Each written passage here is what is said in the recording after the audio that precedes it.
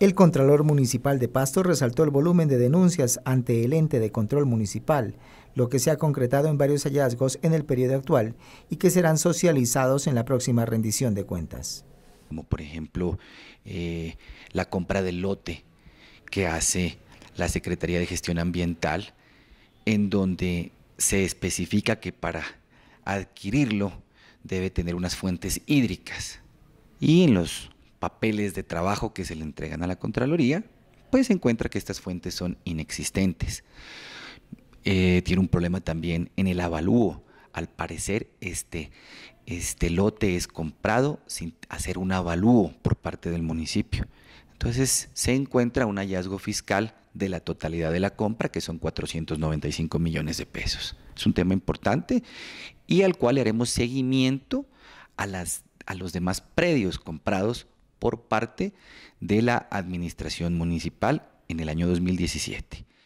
El predio habría sido comprado en el sector de Buesaquillo con destinación a la preservación y cuidado del medio ambiente.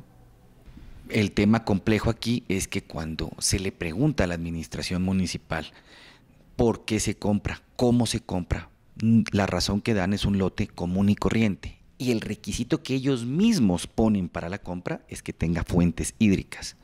Otro hallazgo fiscal encontró en el Plan Maestro de Movilidad por el cual Avante habría pagado más de 1.350 millones de pesos. El Plan Maestro de Movilidad de Avante fue eh, adquirido de manera gratuita en el año 2009 por parte del municipio de Pasto a través de la Universidad Técnica o Tecnológica de Tunja.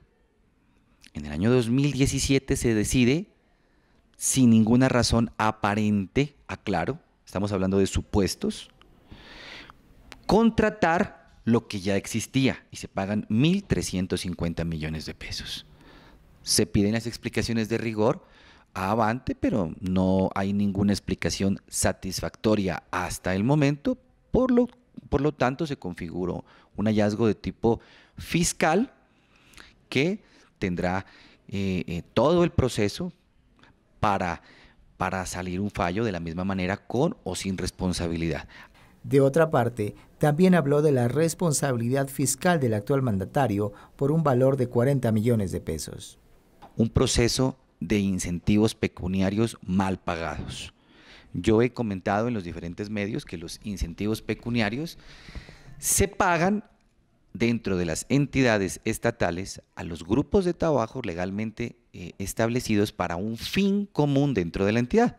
Diga usted, por ejemplo, el bienestar social. En este caso, la administración municipal paga unos incentivos de carácter individual. Por lo tanto, se configura detrimento para la Contraloría Municipal, que es reconocido por parte de la administración porque se termina el proceso mediante el pago de los 40 millones. A mediados de febrero, el ente de control realizará la rendición de cuentas de la vigencia 2017.